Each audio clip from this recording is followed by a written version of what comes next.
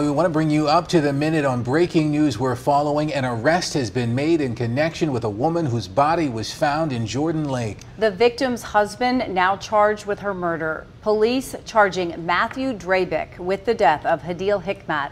Her body was found in Jordan Lake by a boater August 29th.